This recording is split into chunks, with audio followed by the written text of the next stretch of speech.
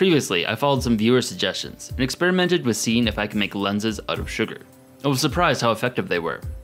After my attempt for the telescope, I was curious if I could pull it off with sugar glass. There were also some interesting comments suggesting other things, like using isomalt sugar substitute and a chocolate frame. So, I'm gonna give that a shot. While I've made my own chocolate from scratch before, I haven't made isomalt.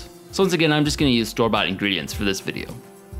Before I make the edible telescope, I'm gonna do a practice one with some cardboard tubes, a Pringle can, and some magnifying glasses I got from a surplus store. So previously when I made my actual telescope, I was doing a Keplerian style telescope, which uses a pair of convex lenses. However, this inverts the image and makes it upside down, which when you're using a spyglass, makes it a little bit difficult and confusing. So I'm gonna go with more of a Galilean style, uses a concave and convex lens. So this produces a narrower image and not as much magnification, but if you do it right, you should get about four times magnification, I think. So before I make the actual edible telescope, I'm gonna make both of them and see which one ends up working better.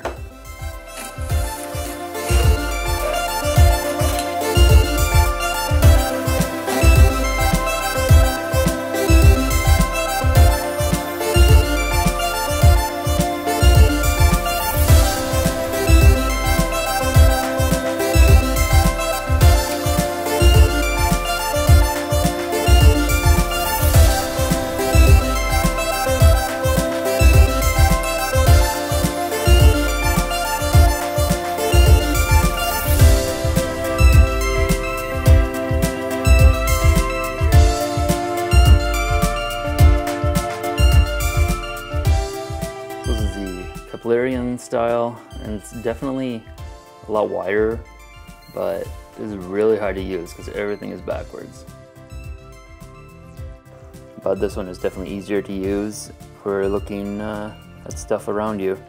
Now that I successfully made a telescope to peep into my neighbor's windows, I can try repeating it with isomalt sugar and chocolate. First, the lenses with the isomalt.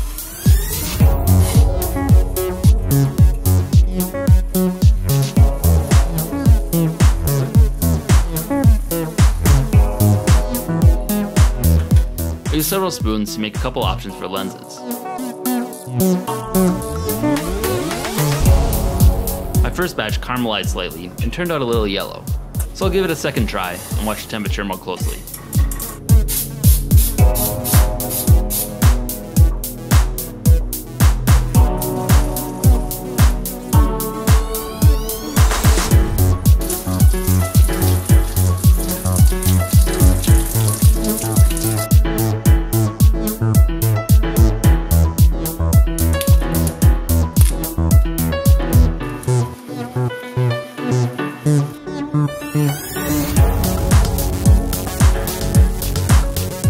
Next, to make the body of the telescope out of chocolate.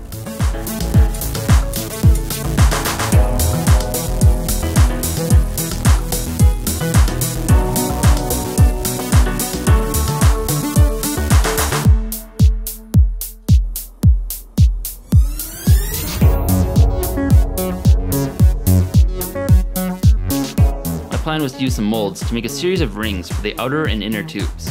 Unfortunately, that didn't work out. Time for plan B, Kit Kats.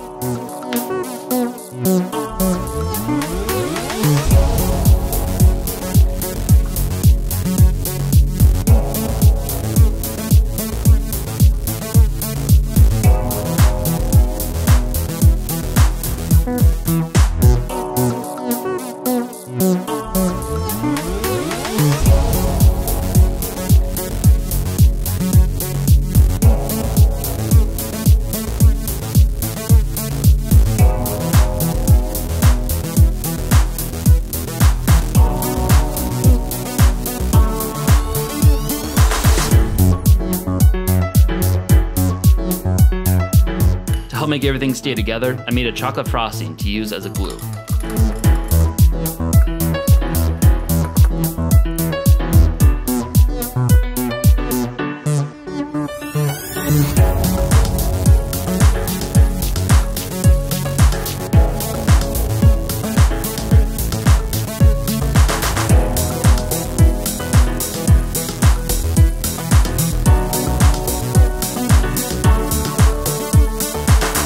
So here it is, the edible telescope.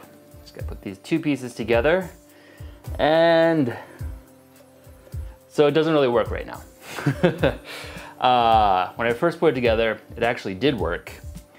But since then, the lenses have gotten foggy and trying to take them off and polish them, now they don't stay and it's kind of all falling apart. But even when it did work well, it was pretty distorted. Sugar glass is actually pretty clear when you first polish it, but as it sits, it becomes more and more foggy and starts to dissolve and lose its shape. And even then, there seems to be some distortion in the actual lenses themselves.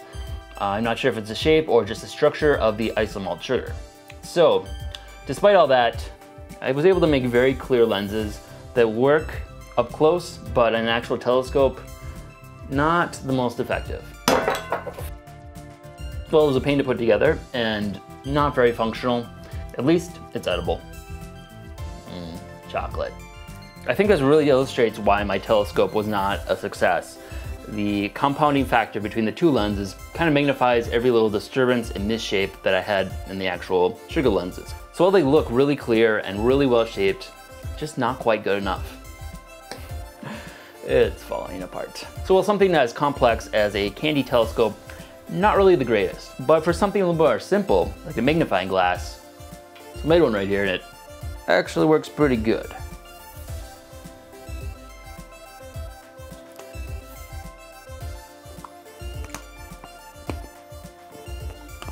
And it's delicious too.